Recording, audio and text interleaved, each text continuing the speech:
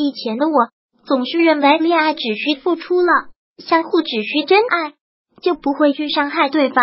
可我总是在内心牢牢的庇护着那份执着的爱恋。实在我错了，不知道爱的观点，认为爱就那么简易。最后还是要明确，爱的越深，就会伤的越痛。在这个世上，每个人都想得到爱，幸福的爱。但是爱是什么呢？爱，一个老奸人的一个字，演戏为爱，得到威严也为爱，仇恨也为一个爱，让人受尽了牢煎。不管是亲情的爱，还是友谊的爱，恋爱的爱，都是一种牢煎。在这个现实的世界。每个人身上都有一段念念不忘的情绪经历，可相互找到幸福的人又有多少呢？我也不破例，我已经把恋爱当成生命，可我最后还是输了，败给了这个现实的世界。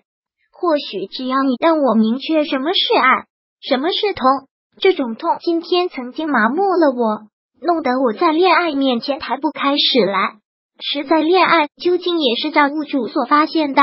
它或许是我们身体上的天国，但它还是不可以躲避天主的布置，还是让我们在这个世上遵照恋爱的痛楚，还是恪守着事物双重性的定律。已是我在恋爱中碰到障碍，有失落、伤感和痛楚。现在我的心却早已分明，慢慢的发现你是那么可悲，你偷偷的走进我的世界，然背面着我偷走我的心。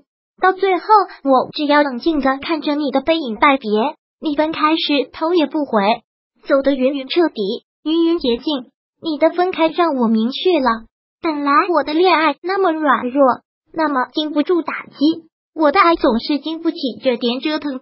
是我不服刚强，还是我云云脆弱？我看破了，我瞧不起他，瞧不起那低微的恋爱，带走了我的思念，留下的只是我甜蜜的回响。